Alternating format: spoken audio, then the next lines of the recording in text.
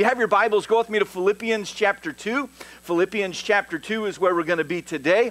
Most of you know by now we're in a study and we're calling it Under Construction. Obviously, a tie in to what we're going through as a church and good things are happening in that project. But God is doing a work of building in our lives, and we're thankful that He's more interested in what's happening on the inside than just all that's happening around us. And we took the time in this study to look at some signs you'd find on construction sites making a spiritual application. Week one, we considered uh, the fact that we're to be open during construction. The purpose of our church continues.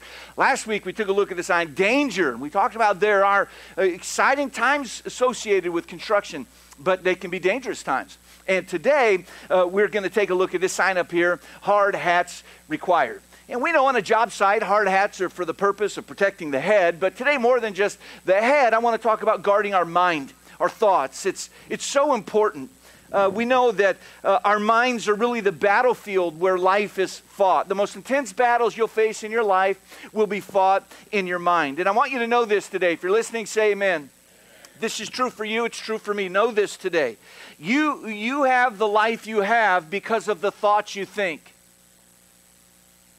The life you have today is the result of the thoughts that you think. You cannot live a positive life with negative thoughts. That's why Solomon in Proverbs 23 said, For as he thinketh in his heart, so is he. You have the life you have because of the thoughts that you have. And that's why our thoughts tend to be such a struggle. You need to know this today the devil has a plan for our thought life.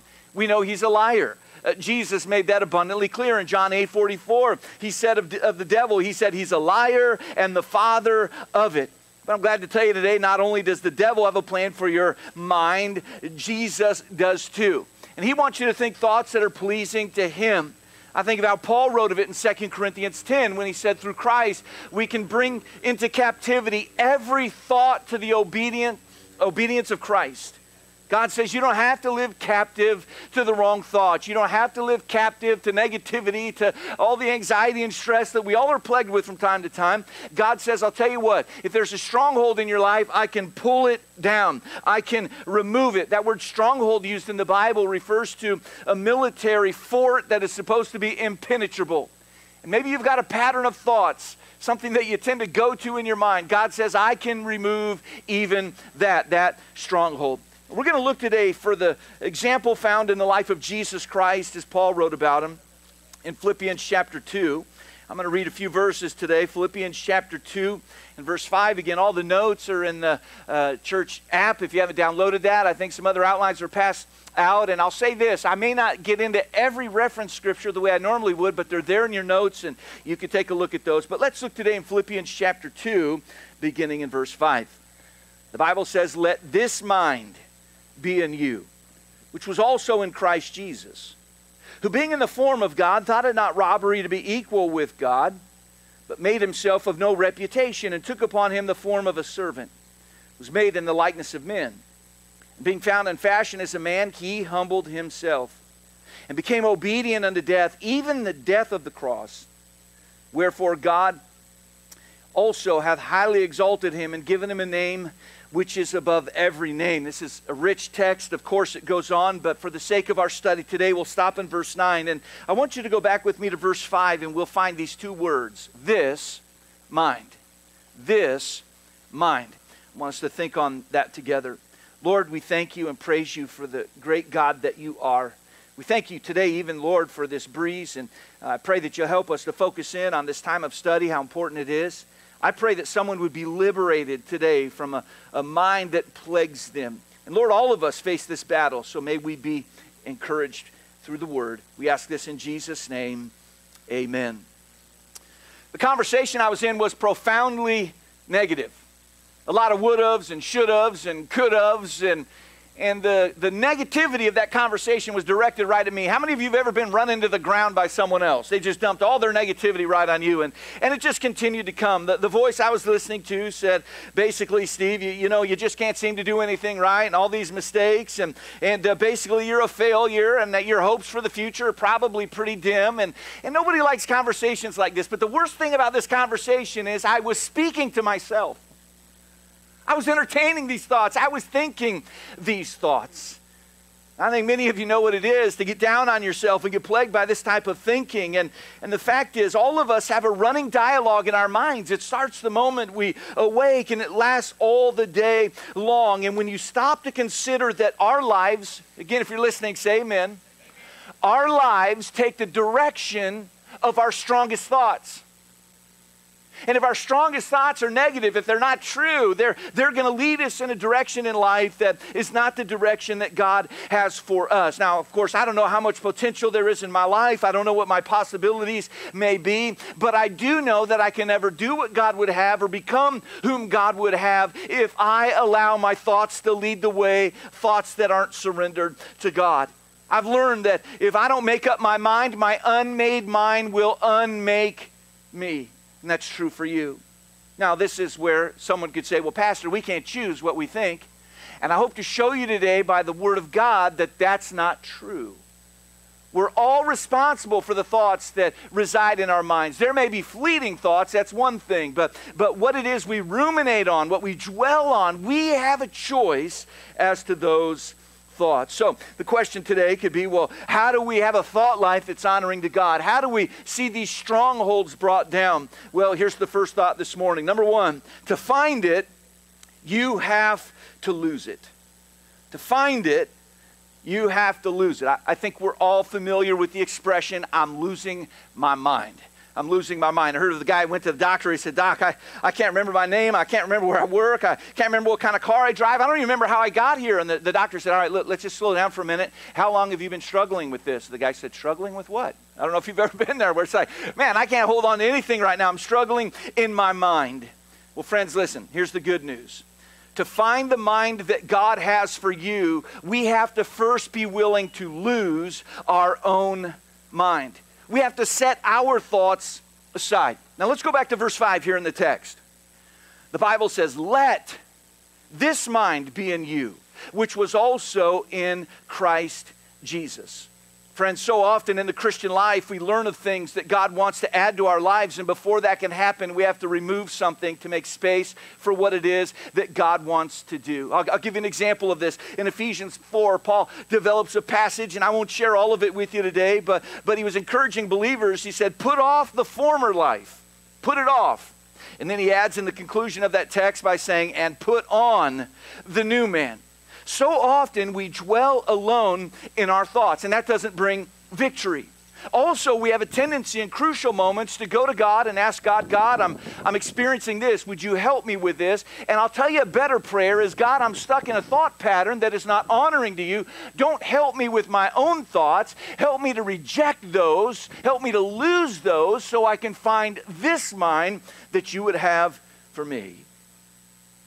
God's word informs us that when we trust in ourselves, including our thoughts, we're foolish.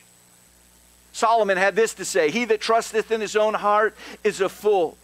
And friends, deliverance from our wrongful thoughts is found in God. We have to yield our heart and our minds to Him.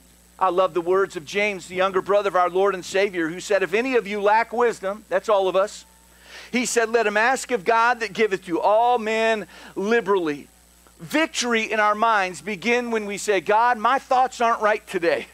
My thoughts are wrong.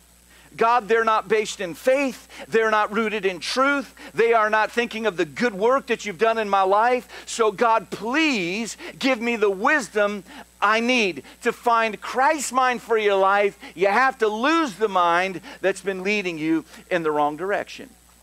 That's why the Bible teaches us that we're to yield to Him. Here's the second thought to find it, you have to lose it. But number two is this to live it, you have to choose it. We read in this passage, let this mind be in you. Let. In other words, this is a work God wants to do in our lives, but we have to be willing. We have to be willing to, to choose it. We have to empty ourselves to know the joy of being filled by Him. And this means that we have to grow from listening to ourselves to speaking to ourselves the truth of God.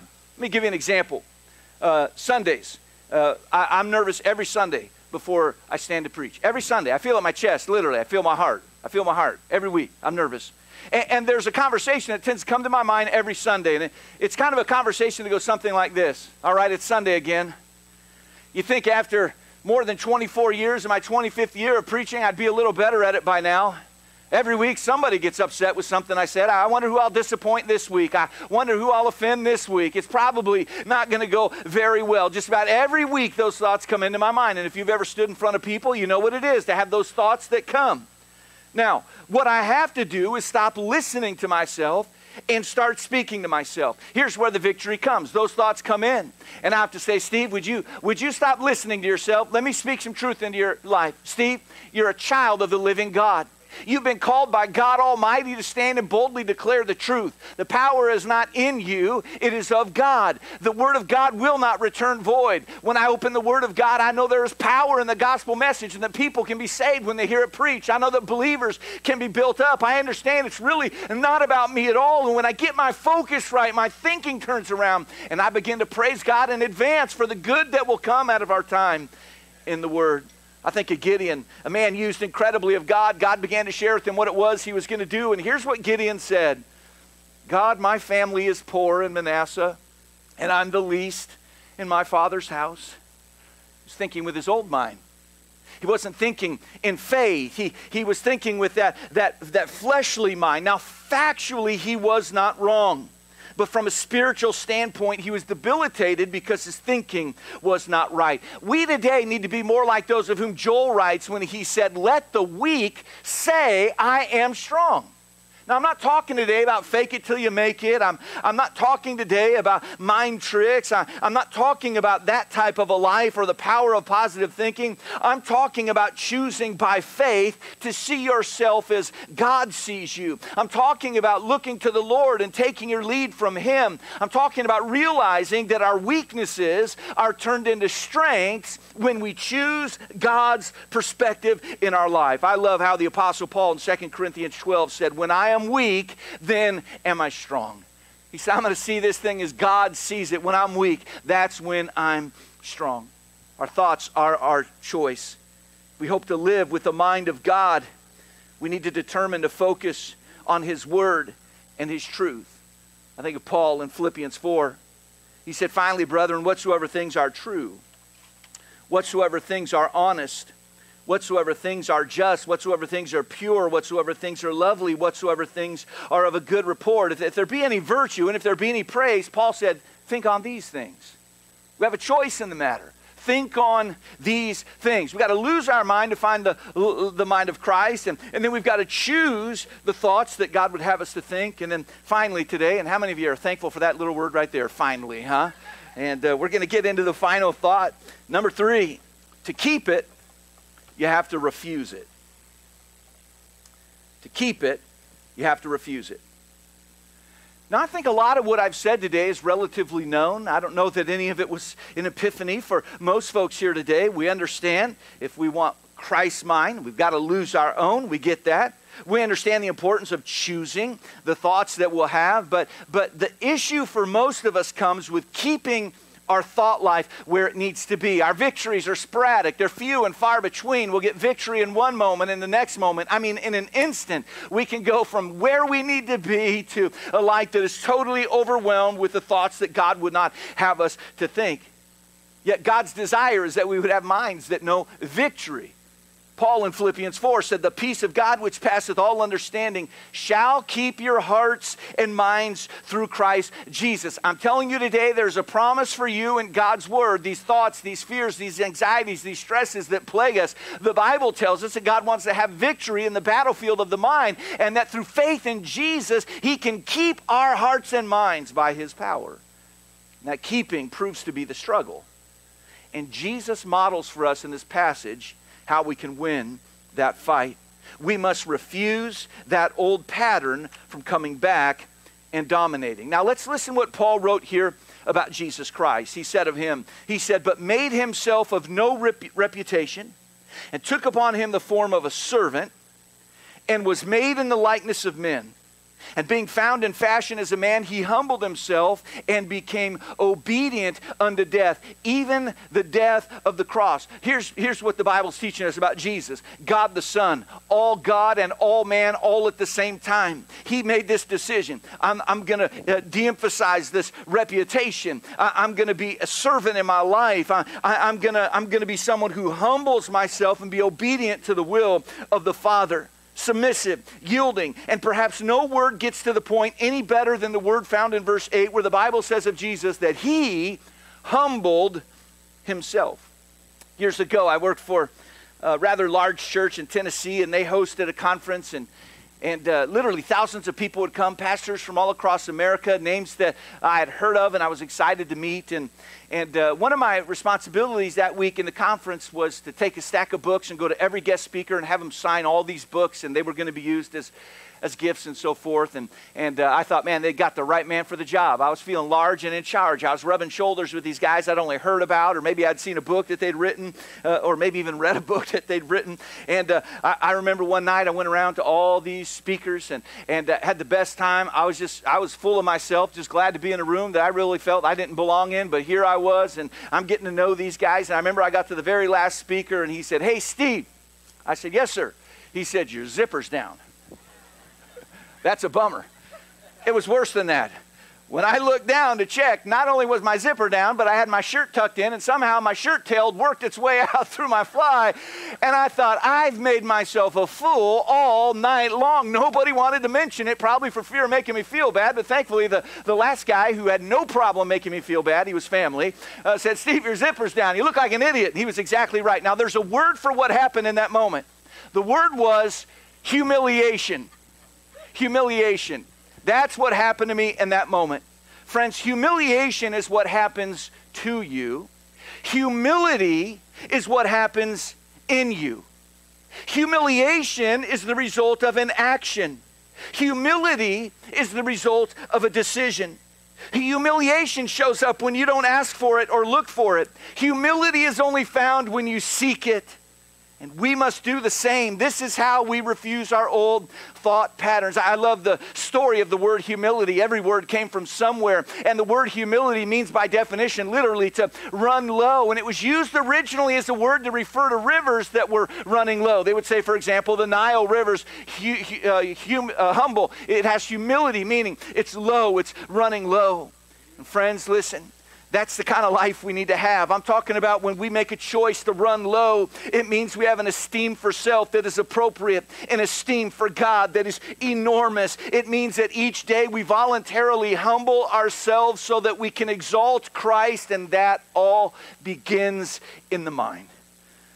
Verse 7 of our text, Jesus, uh, of Jesus, we read this took upon him the form of a servant. And friends, when we see our minds, as servants of God, we understand that we cannot do what it is He would have if we are stuck in the negative and self defeating thoughts of the past. We have to refuse those thoughts, tell them to go back to hell from whence they came, so we can keep going for the Lord. And this is the struggle, isn't it? For some of you, more than others. Some of us are more thoughtful than others, but this is the struggle for all of us. And for some, it's like the quintessential struggle in life. Maybe today you got off to a great start and you've already been living what it is I'm teaching today, and you started by saying, Lord, I want to lose my mind so that I can find yours. Lord, I want your thoughts. And God, I'm choosing your mind so that I can live for you. Again, off to a great start. You've given up in that prayer the stress and the anxiety and the discouragement and the regret and the guilt, none of which is coming from God. It's just something that's generated on the inside. And you're, you're saying, God, I, I want to lose my mind and gain your mind. I choose your thoughts, not my thoughts. And let's say you pray that prayer and you go to work. You're dealing with that guy that's aggravated you before and he's aggravating you again, and you've got a decision to make that moment. You, you, feel something welling up on the inside and it's not good, and the old thoughts are, are beginning to come back. And at that moment, you need to pray, Lord, help me to refuse these wrong thoughts so that I can keep yours. And that is a prayer saying, God, help me to humble myself. Again, as Paul in Second Corinthians wrote, God wants to bring into captivity every thought to the obedience of Christ. To have victory in your thoughts, you have to lose. And then you have to choose. And then you must refuse. And by God's grace and through prayer, you have to choose to run low, to humble yourself. Now, some people think of this idea of, of humble, uh, a humble life, of, of, of humbling ourselves, and we think, well, that would mean I'm diminished somehow. If I live a life like that, it means that uh, it's not going to be all that I would have it to be, that I'll be lessened in some way. And friends, I'm telling you today, nothing could be further from the truth. You're going to get far more out of life when you're living with, living with a mind of Christ and when you're living with a mind that's plagued with all of these thoughts that are not honoring to Him. And I, I know that's true because of what we read in verse 9. After all, we read of Jesus in verse 9, we read this Wherefore God also hath highly exalted him and given him a name which is above every name. Friends, hear me now. This is the beauty of the Christian life. You rise when you descend in humility. God exalts you as you come to him with a humble spirit. That's how God has designed this life. I think of Jesus' words in Matthew 23 we read in whosoever shall exalt himself shall be abased and he that shall humble himself shall more emphatic than will he said those that humble themselves they shall be exalted. Peter added to that in 1 peter 5 by saying humble yourselves therefore under the mighty hand of god that he may exalt you in due time. So much of the pressure in our thought life is self-exaltation it's, it's trying to get where it is we want to go without thought of what it is that God would have us to do. And when we humble ourselves, what we're doing is placing our, our lives, our minds, our thoughts in the hands of God so that He can guide and direct and lead us to where it is He would have us to go. You guys are getting about half of what I prepared today, but half is about all we need today. I get that. The Bible's filled with so much about the mind. And again, it's because that's where the battles are fought. That's where the battles are fought. Uh, when someone says, That's it, I quit, they quit up here a long time before that announcement was made. The mind is so important. And one of the most well known passages on the Bible is found in Romans 12, where the Bible says, I beseech you, therefore, brethren, by the mercies of God, that you present your bodies a living sacrifice, holy, acceptable unto God, which is your reasonable service. And be not conformed to this world, but be transformed by the renewing of your mind that you may prove what is that good and acceptable and perfect will of God. Friends, I want us today to make the connection between a mind that is being transformed by God and a mind that is being renewed by God. And it all begins with a statement in the beginning of that passage where the Bible tells us that we're to be living sacrifices. Now, the primary Jewish audience to whom Paul was writing, they would have immediately had a picture in their mind's eye of a sacrifice. Sacrifices aren't living. Sacrifices went to the altar, they were sacrificed, and they became dead. Dead sacrifices didn't get up and run around. Dead, dead sacrifices didn't complain about how things were going. They, they had died. And, and yet the Bible says that as believers, we're not dead sacrifices, we're living sacrifices, which means maybe you've had a time in your life where you've put your life on the proverbial altar and say, God, I belong to you. All that I have, all that I do, I want it to be honoring to you. But maybe from that altar, because you were not a dead sacrifice, but a living sacrifice, you got up again. That means victory in the Christian life is that daily, even moment by moment decision Say, God, help me in this moment. Help me in my thought life. Help me, dear God. We're living sacrifices.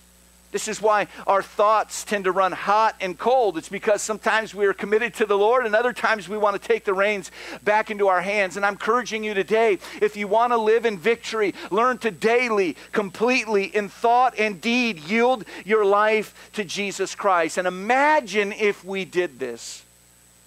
Imagine how that would impact our relationships, our marriages, our parenting, our, our workplace uh, interactions, uh, all of it. Imagine if we chose to lose our mind so that we could make room for the mind of Christ.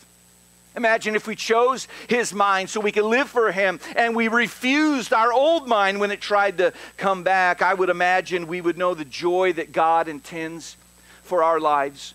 And I'd imagine our humility would lead to a life that would help us to become a vessel that God could lift up and exalt, not to make a name for ourselves, but to lift up the name of Jesus Christ. Our thoughts are the result of our decisions. The life you have is connected to the thoughts you think.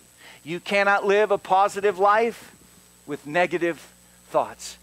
God knows that. He knows how we're put together. He made us. And that's why, in His love and His word, He said, Your mind is just not going to get it done. So he said, Let this mind be in you. Friends, that's a decision we have to make today.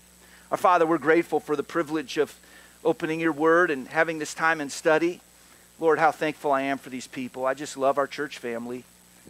Help us to take this message into our hearts and minds.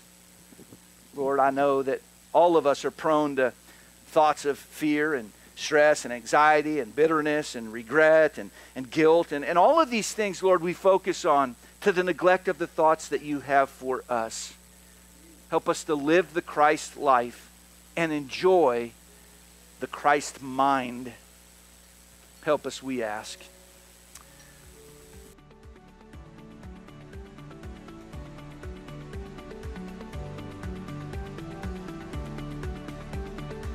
Thank you for watching today's service. It's our prayer, whether you're a friend near or far, that today's services were a help and encouragement to you. If you'd like to get more connected with us, stop by our website, or maybe you have a prayer request or a question that we can help you with, feel free to drop us an email.